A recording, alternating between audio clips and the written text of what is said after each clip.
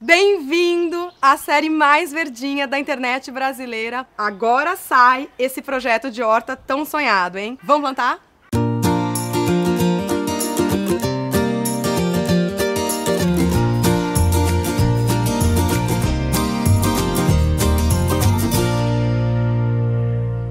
Às vezes a pessoa vira pra mim e fala assim: Ai, a minha horta tá linda, eu tô com dó de comer.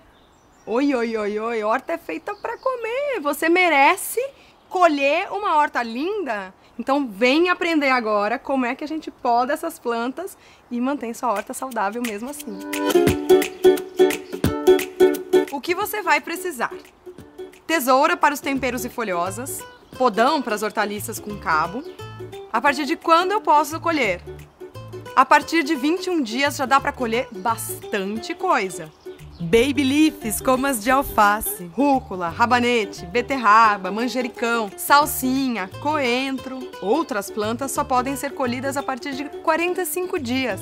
Cenoura, pepino, beterraba, couve, berinjela, mini jack, abobrinha e feijão vagem. E tem aquelas que você vai colher só depois de 100 dias, mas nem é tão demoradinho assim, vai. Tomate, pimenta, melão, cebola e brócolis. Como devo colher? Algumas plantas têm de ser colhidas de fora para dentro. Assim, as folhas mais antigas são comidas antes.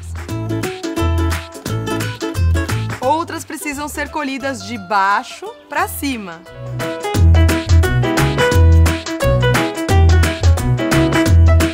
Se você quiser deixar a planta mais cheia, colha de cima para baixo.